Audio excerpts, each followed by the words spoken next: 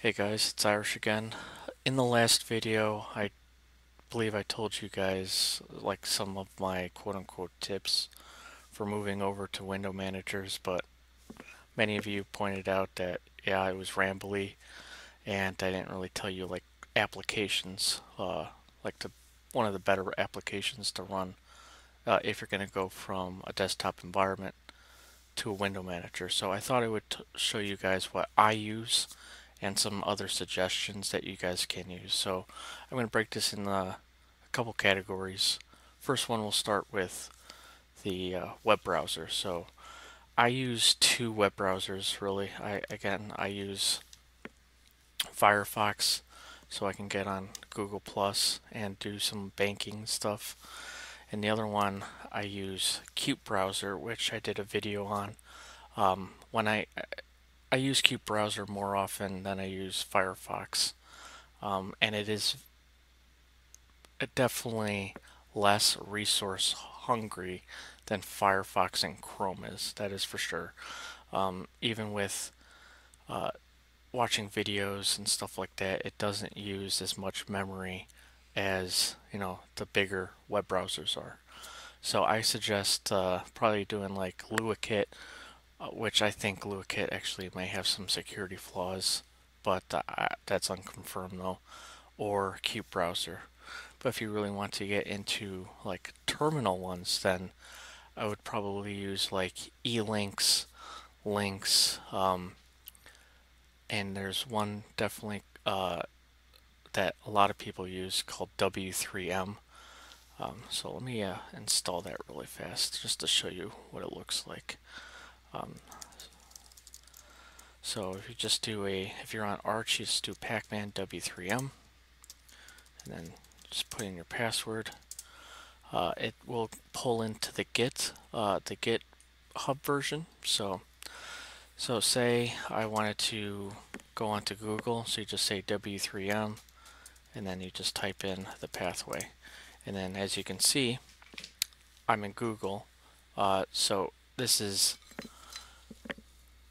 less uh, resource hungry than qutebrowser just because it uses a you know the terminal uh, as your web browser. So you can live in this.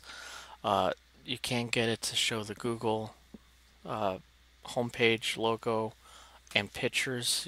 You just have to do some tweaking to it and I think it's a another you just have to add another package to get it to go. So that's uh, a few applications that you can use for your web browsing. Um, second one would be file browsing. Um, I do use Thunar, um, so again, with any of these you can use the GUI equivalents, but if you're moving over to Window Manager, you probably want to become a little bit more, uh, have your better workflow.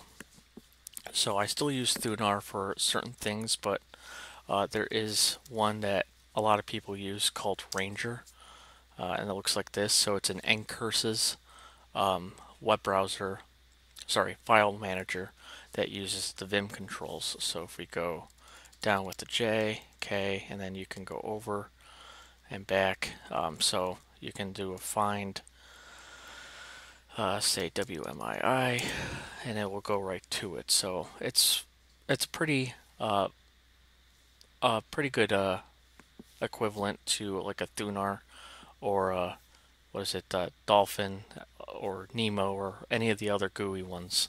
But again, you can use um, just a straight up terminal if you want. Uh, there are others like uh, Midnight Commander, uh, which is very similar to this. Uh, I believe I did a versus, I guess, or a com compare and contrast uh, on Midnight Commander and Ranger uh, in one of my older videos. So personally, I use Ranger just because it's colorful. It actually uses my terminal colors, so I don't really have to do much tweaking with it. And it uses Vim, uh, which uh, a lot of people use Vim, and a lot of people know the Vim controls. So that uh, is pretty good for uh, to get rid of uh, just to do um, file stuff. Um, the next one, a lot of people uh, are curious about is music. So when I was on GNOME and KDE, excuse me, I did use Clementine, but you know, again, that's because of all the gooiness of the program. It can become more of a resource hog after time, after you keep playing your music over and over, more memory is used. So on Arch, I use what is known as MPD, which is Music Player Daemon, and then on top of that, I use a program called NCMPP, uh, CMPP, I believe, something like that. So it looks like this. Uh, there's others. Uh, on my, excuse me, on my Gentoo, I use something called CMUS, which is very similar uh, to another program called MOC, which I did a video on. Uh, let's see if I actually have it on here. Yeah, so here's MOC. So you can just go down to uh, select Irish songs and you could one just like that and then you can play it in the background uh, unlike CMUS which you actually have to have it open uh, then there's uh, I do have a Pandora. I do listen to Pandora. So the GUI form would be uh, Pithos I believe it's called. And then the CLI version would be excuse me pianobar. So you just have to put in your username. You have to use your username and then the password that you use. And it doesn't matter if you're using uh, the paid version of it or not. There are unlimited skips and there are no ads so that's very good and then I do know that there is one for Spotify but um, I use Spotify. Uh, I log in with my Facebook, so I'm unable to do it through the CLI application. So I'm unable to do it through that, but there are, I think there are ways around it that I'm going to look for. Uh, and then if I do find something, I can make a video on it if you guys are curious. The, the other ones that a lot of people use are uh, another category would be pictures. I don't know if they're uh, with Ranger, uh, with the hack, you can show pictures um, with the W3M that I mentioned earlier, but I've I've been unable to get it to go because of my terminal, which is URXVT. It doesn't play well with W3M and pictures for whatever reason. Um, but you can do pictures through Ranger. But I use Shotwell. That's one of the very few GUIs that I actually do use. And then that pretty much covers everything. Um, you know, if you have torrent, uh, uh, uTorrent actually comes with a CLI version that uh, another YouTuber, I can't pronounce his name, he's actually done uh, a video on it. It's called uh, rTorrent Remote, and then you can torrent your files through your uh, through your uh, terminal or transmission has a uh, CLI version. Uh, Wireshark, uh, some networking tools, they come with their own CLI versions. Uh, up here, which would be Network Manager, that's the applet. Uh, but if I open it up, there is actually a C or a ncurses, which you can see right here, and then you can say edit a, and then I can edit this, or see if I can go back, or I can activate another one. So I can activate uh, one of my neighbors if I wanted to, if I had the thing. So I don't really need to have this, but I use it just because I don't have to type in a certain password when I go to my uh, parents' house because they have a super long Wi-Fi password. So uh, that's the only reason why I still have the applet involved. Dropbox on Arch, there is a systemd where you can have systemd start it with your user.